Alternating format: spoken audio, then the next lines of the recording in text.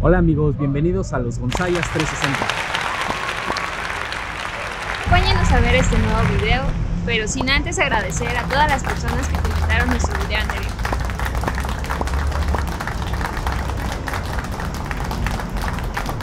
Bien, pues en esta ocasión vamos a hablar acerca de cómo hay que llenar la carta de la universidad. Normalmente cuando ustedes aplican a un plan de estudios les piden hacer una carta con intenciones eh, eh, académicas.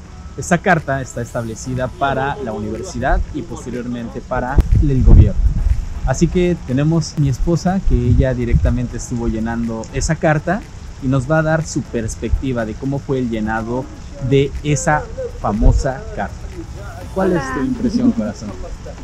Pues es una carta, bueno, eh, es que nosotros entregamos dos cartas, la de la universidad y la del gobierno de Canadá, pero la carta que se hizo para la universidad fue donde yo mencionaba cómo era que tanto profesionalmente o laboralmente estaba ligado el diplomado que yo quería estudiar en su universidad.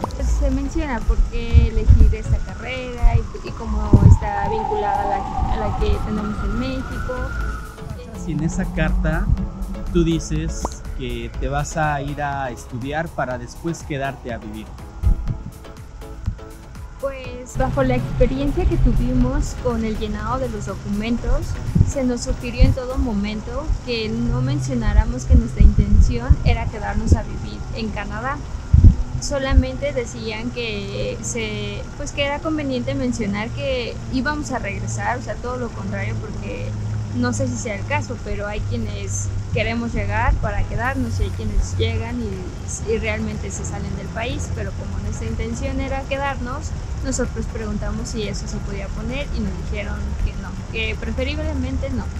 Con respecto a el tamaño de la carta, esta debe tener mil palabras, mil quinientas, debe ser dos cuartillas, tres cuartillas, con un párrafo suficiente. La carta que hice para la universidad tenía mil palabras, que fueron, bueno, tenía más de mil palabras porque mínimo pedían mil. En la carta que se hace para la Embajada de Canadá o para el gobierno de Canadá no te dice cuál es el formato ni el número de palabras, pero bueno, al menos la que nosotros redactamos fue de una cuartilla.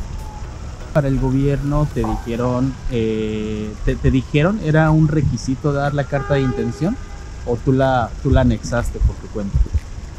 No viene mencionada como un requisito, pero sí es importante anexarla era un dato muy importante. Al final del día, cuando se tramita la visa, tú lo que requieres decir es, te vas a regresar. Que hasta cierto punto nuestra evidencia de que íbamos a regresar era mencionar el plan de estudios, que se mencionaba que ibas a estudiar durante tres, durante tres años, dos años, para aplicarlos en nuestro país de residencia, el original, de donde venimos, que es de México. Sí, así es. Sí, en todo momento requiere mencionar que te vas a regresar a México. ¿Por qué? Porque en teoría tú vas a estudiar, no vas a ir a vivir. ¿Qué hay de cierto de que en los formularios no se debe de mentir? Pero si yo en la carta digo que me voy a regresar a mi país cuando mi intención es quedarme, ¿no estoy mintiendo? ¿No es ahí una contradicción? Ah, yo pensaría que sí. Eh, nosotros igual teníamos esa duda cuando estábamos redactando la carta, porque realmente nuestra intención es quedarnos a vivir ahí. Y si yo pongo en la carta que no me quiero quedar a vivir aquí, después cómo me van a pues no, que no te querías quedar. Entonces es como que ahí, pues sí, hacer, pues sí, se miente al decir que a lo mejor la intención es regresar cuando realmente no lo es, pero no lo puedes poner, o sea, lo recomendable es no poner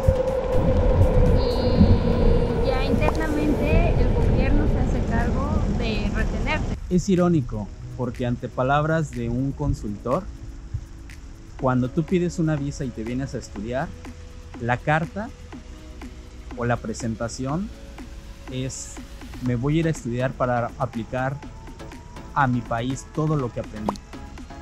Pero una vez aquí, el gobierno hace todo lo posible por retener ese talento o ese aprendizaje ganado. El consultor nos dijo que era algo sin sentido y que era algo que muchos consultores y mucha gente se le hacía sin sentido esas cosas. ¿Por qué pedirle a la persona o por qué decirle que te gusta escuchar, que se van a regresar y cuando ya están aquí haces todo lo posible por retenerlos? Es así, así funciona. Al menos desde nuestra experiencia, eso fue lo que nos tocó vivir decir que veníamos para posteriormente regresarnos a nuestro país. Espero que les haya gustado este video donde nosotros mencionamos cómo fue nuestra experiencia con la redacción de las cartas. Si tienen algún comentario, por favor, déjenlo aquí. No olviden suscribirse, darle like y compartir este video. Adiós.